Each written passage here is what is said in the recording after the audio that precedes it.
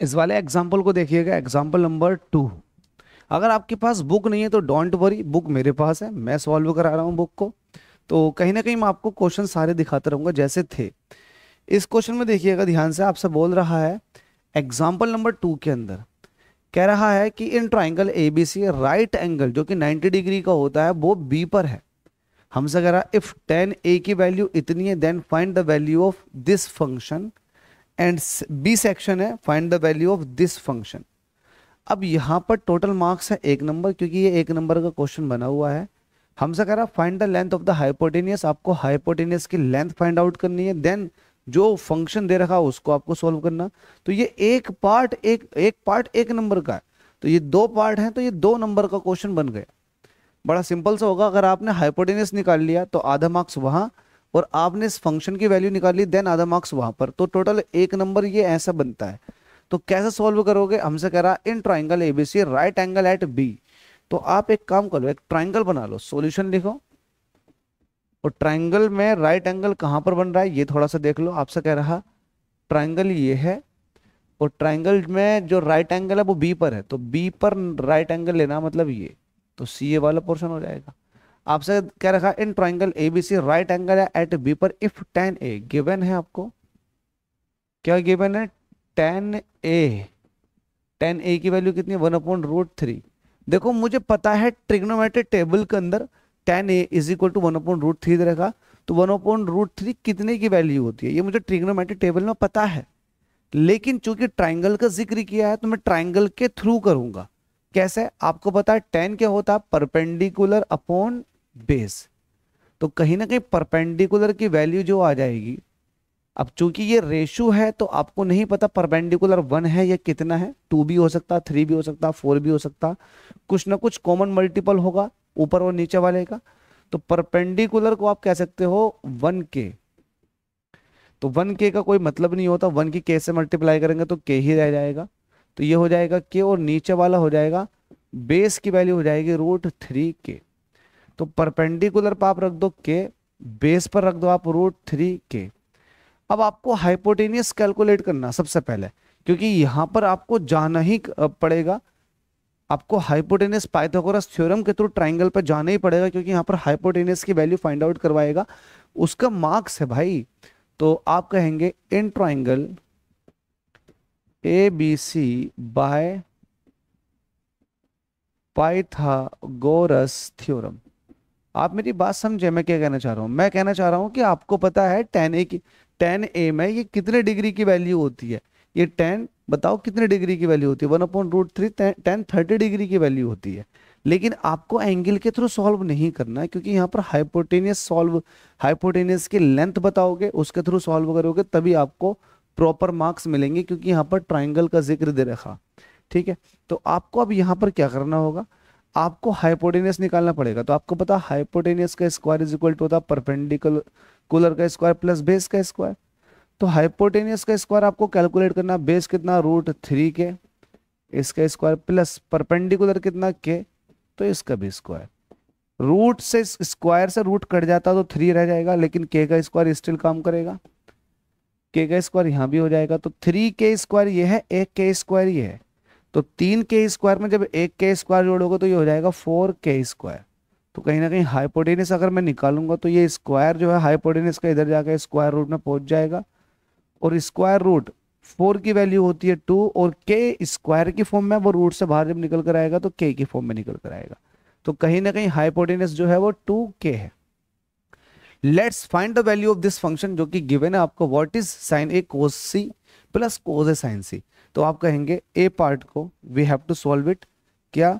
Sine A cos C plus cos A sine C what is the value of sine A A ये है आपके लिए। तो इसके लिए परपेंडिकुलर ये हुआ बेस ये हुआ हाइपोटेनियस ये हुआ। तो साइन का फॉर्मूला क्या होता है? Perpendicular upon hypotenuse. तो sine A is equal to जाएगा परपेंडिकुलर डिवाइडेड बाय हाइपोटेनियस मतलब के डिवाइडेड बाय टू के वही कोज सी इसको, जब इसको आप एंगल मान रहे हो तो देन ये परपेंडिकुलर का काम करता है। मैंने आपको बताया था शुरुआत में एग्ज़ाम्पल नंबर वन मैं एंगल के सामने वाली साइड परपेंडिकुलर।